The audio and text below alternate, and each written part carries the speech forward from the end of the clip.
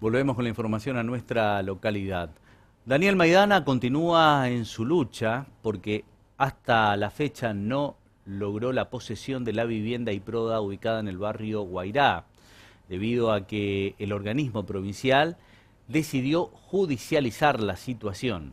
En esta oportunidad dialogamos con él, nos indicó que todo estaría apuntando a que en la brevedad recuperaría la vivienda, sin embargo, lo que quiere dejar en claro es quién le devuelve la tranquilidad, porque durante todo este tiempo pasó un muy mal rato y también su familia, de hecho su propio hijo, que recordemos padece una discapacidad. Nosotros dialogamos con él, nos indicó lo siguiente.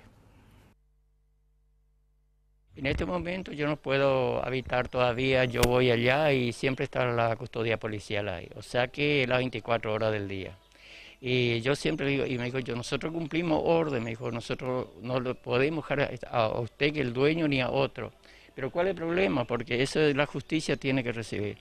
Este, el diputado Chumbarreto eh, habló supuestamente con el ingeniero Roth y le dijo que él no estaba al tanto de todo esto.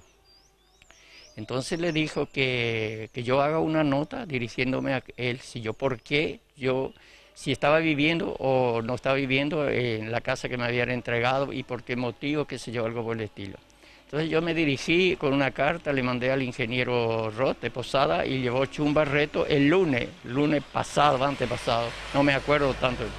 Entonces, eh, supuestamente Chun apareció el miércoles al mediodía, vino y me dijo que todo estaba encaminado, que esto se iba a resolver este, lo más pronto posible, lo más eh, lo antes posible y que me quede tranquilo.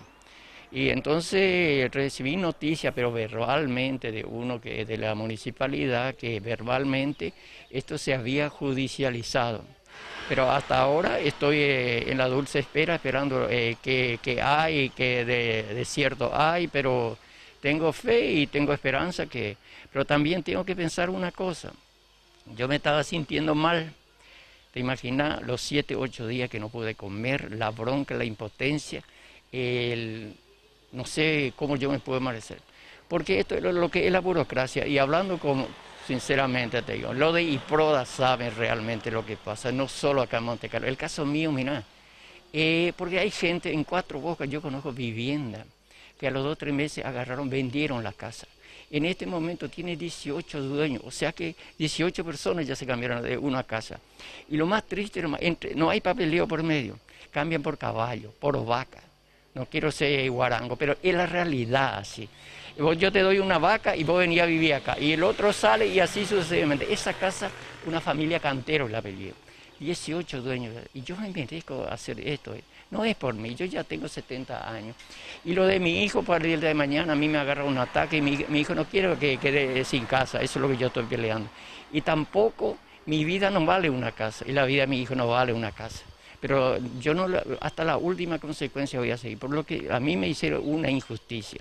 Más le voy a decir una cosa. A mí vino una chica, es trabajo de ella, del territorio Vino, me, me sacó la foto, qué sé yo, algo por el estilo, y le dije, ¿qué pasa? Le dije, no, y mañana usted va a salir al territorio. En primera plana lo que le está, se está encadenando y le está pasando. Al otro día no aparece en el territorio. Al, segundo día, al tercer día, y le llamo por teléfono, le digo a esta chica, ¿pero qué pasa?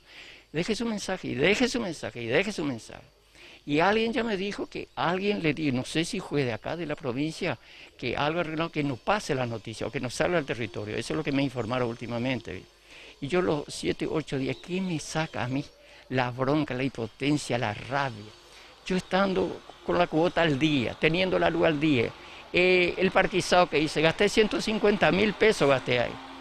Y más que me vengan a hacer esto que un día para otro, yo no recibí ni una intimación ni algo de IPRODA, nunca me dijeron nada.